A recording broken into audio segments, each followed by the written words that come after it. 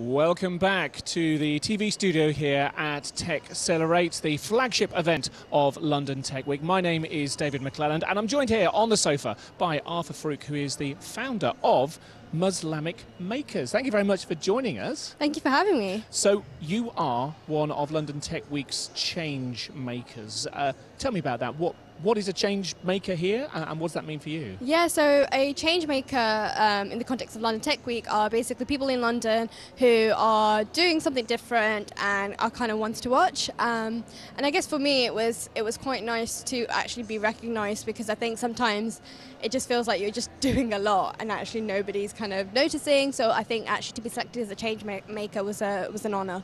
Now let's talk about what it is that you're doing a lot of. Muslamic makers, what is that? Yeah, sure. So Muslamic Makers is a Muslims in tech community um, that me and my friend Murtaza set up about two years ago.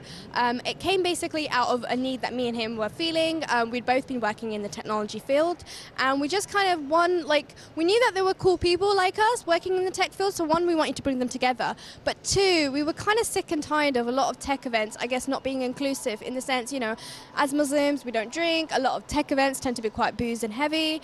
Um, so we kind of just wanted to actually just create a safe place, a safe place where people like us could come. They can see people, role models in you know in the industry that look like them, that come from similar background as them, and you know we can help raise aspirations in the process.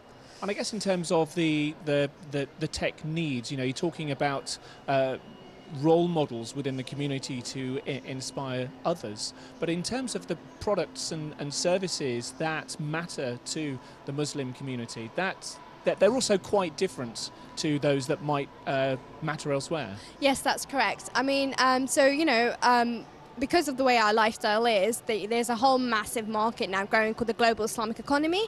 And um, because off the back of that, we've now kind of got products, everything from kind of Muslim marriage apps, you know, a bit like Tinder, but very catered and heavily in terms of, you know, getting married, to actually, you know, banking products that are kind of Sharia compliant, to Islamic wills. So, you know, there's tech products now that are, you know, being created and being run that cater for this, this generation who want quality, but also want to stay true to their values.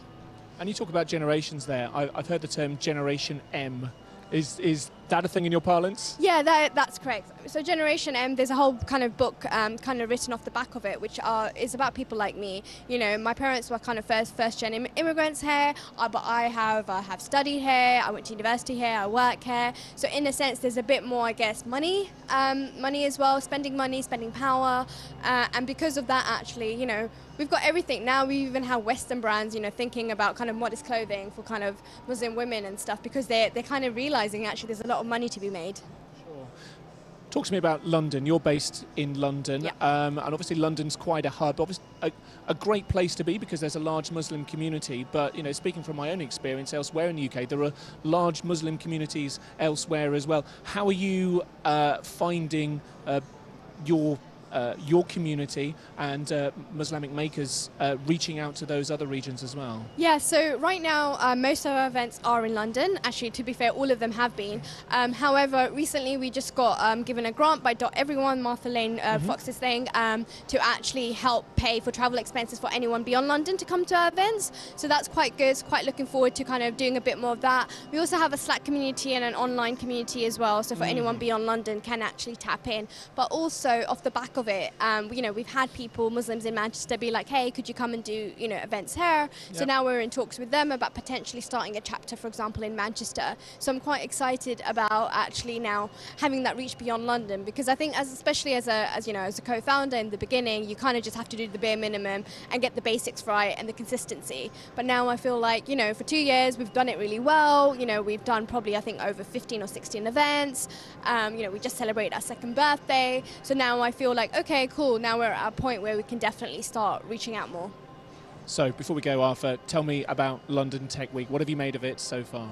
Yeah, so far it seems really, really interesting. I've obviously seen, seen some really interesting articles. Um, everything from you know money being pumped more into London to obviously you know the, the American tech companies, you know saying right we're definitely coming to here to grow and stuff so i think london is definitely a happening place to be i think the most exciting thing however about tech generally, and I think it's something that most people need to realize, is actually you know, if you're a non-techie and people mistake me for a techie because I go on about tech all the time, is actually there's a place for you. You know, it doesn't matter if you're a lawyer or do marketing, etc. There is a place for you in the technology world, and you know now every company is going to be a tech company, so kind of get on board. That's great to hear. Arfah Farooq from Muslamic Makers, thank you very much for joining us in the studio today. Thank you very much.